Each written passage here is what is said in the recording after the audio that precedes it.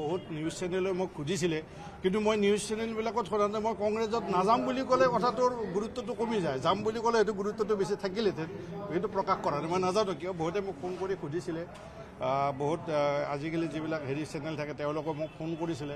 মই কৈছোঁ যে এনেধৰণৰ কোনো চিন্তা চৰ্চা মোৰ মনলৈ অহা নাই। আৰু যেতিয়া চিন্তা চৰ্চা হয় প্ৰথমটো সাংবাদিকক ক'ব লাগিব ন? প্ৰথমটো কাক ক'ম মনৰ কথাটো প্ৰচাৰ কৰাৰতো মাধ্যম আপোনালোক গতিকে যেতিয়া এই ধৰণৰ মনত চিন্তা চৰ্চা আহিব কিবা সিদ্ধান্ত ল'ম প্ৰথম মই আপোনালোককে ক'ম। আমি এঘাৰ তাৰিখে আমি এঘাৰ তাৰিখে জইন কৰিম বুলি আমাৰ ফটো চটো লগাই দিলে। কিন্তু এঘাৰ তাৰিখ কালি কালি আপোনালোকে নিশ্চয় দেখিব। আমাৰ দললৈ আজি আজি আমাৰ দললৈও মানুহ আহিছে। অহা নাই জানো? কোনোবা বিজেপিলৈ যাব কংগ্ৰেছলৈ যাব এটা ধাৰাবাহিক প্ৰক্ৰিয়াতো কোনো বাধা কৰিবলগীয়া নাই।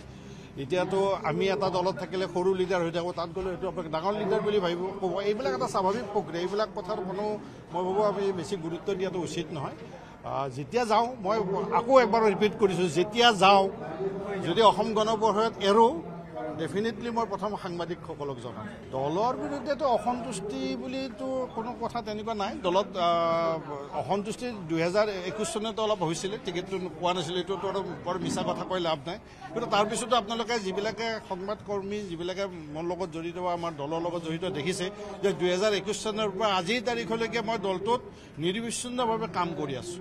আৰু মই বিশেষকৈ মই কমলপুৰ সমষ্টিটো যাতে অসম গণ পৰিষদৰ ভেটিটো অধিক শক্তিশালী হৈ থাকে মঙলদৈ লোকসভা এতিয়া দৰং ওদালগুৰিত যাতে অধিক শক্তিশালী হয় তাৰ কাৰণে মই মনোনিৱেশ কৰিছোঁ। আৰু খুব সুন্দৰকৈ এতিয়াও মই ভাবোঁ অসমৰ পাঁচটা সমষ্টি যদি আপোনালোকে বাছি উলিয়াই গণ পৰিষদৰ ক'ত ভিত্তি আছে সেইটো তাৰ ভিতৰত কমলপুৰ সমষ্টি পৰিব। কিছুদিন দিয়ক সকলো কথা মুকলিকৈ ক'ম।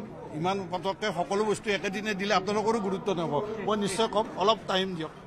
সময় দিয়ক আপোনালোকে মই নিশ্চয় আৰু বেছি মুকলিকৈ ক'ম। আৰু মই অলপ মুকলিকৈ কথা কওঁ কাৰণে ৰাজনৈতিক গুণ নাই বুলি ভাবে বহুতে ভাবে ইয়াৰ চব কথা খোলাখুলিকৈ কয়।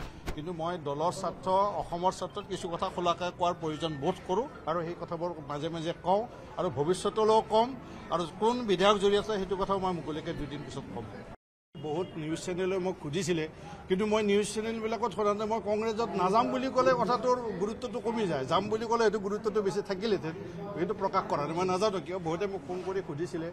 বহুত আজিকালি যিবিলাক হেৰি চেনেল থাকে তেওঁলোকে মোক ফোন কৰিছিলে।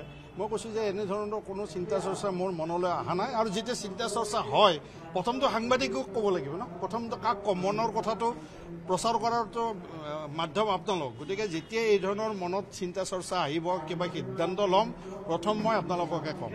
আমি এঘাৰ তাৰিখে আমি এঘাৰ তাৰিখে জইন কৰিম বুলি আমাৰ ফটো চটো লগাই দিলে। কিন্তু এঘাৰ তাৰিখ কালি কালি আপোনালোকে নিশ্চয় দেখিব। এতিয়াতো আমি এটা দলত থাকিলে সৰু লিডাৰ হৈ থাকোঁ তাত গ'লে সেইটো আপোনাক ডাঙৰ লিডাৰ বুলি ভাবিব ক'ব। এইবিলাক এটা স্বাভাৱিক প্ৰক্ৰিয়া। এইবিলাক কথাৰ কোনো মই ভাবোঁ আমি বেছি গুৰুত্ব দিয়াটো উচিত নহয়।